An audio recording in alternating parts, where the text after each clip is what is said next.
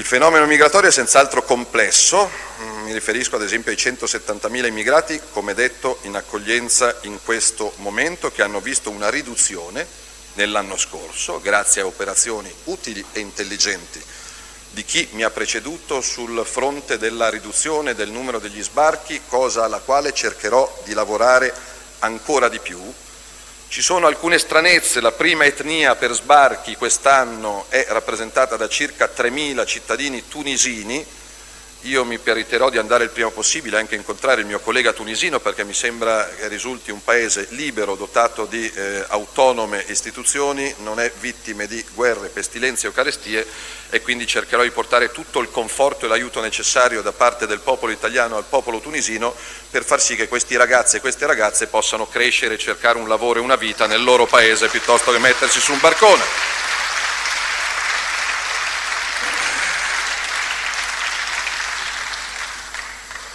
Ci sono altre 3, 4, 5 pagine, ma preferisco dedicare il tempo a voi piuttosto che a leggere numeri. Ci tengo a dire che in queste ore ho sentito tanti colleghi europei, leggevo che l'Italia è isolata, penso che non siamo mai stati così centrali e così ascoltati come in queste ore. Ho parlato col collega tedesco con cui abbiamo condiviso il fatto che occorre tornare a ragionare di protezione delle frontiere esterne italiane come frontiere europee e non solo italiane. Non possiamo essere gli unici a fare quello che meritoriamente facciamo nel Mediterraneo sopportandone costi economici e costi sociali. Se l'Europa c'è, batta un colpo adesso o taccia per sempre. Noi gliene abbiamo dato l'occasione e l'opportunità. Ho sentito il collega francese,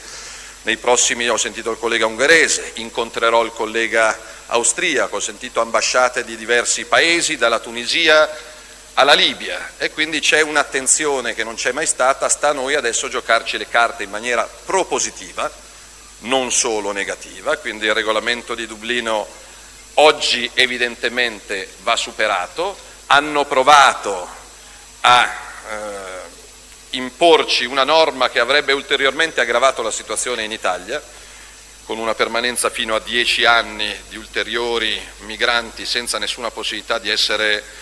accolti in altri paesi, abbiamo concordato un no costruttivo e penso che col collega tedesco e col collega austriaco, visto che dal primo luglio la competenza e la presidenza europea sarà dei colleghi austriaci, proporremo noi una nostra iniziativa sul fronte interno e sul fronte esterno.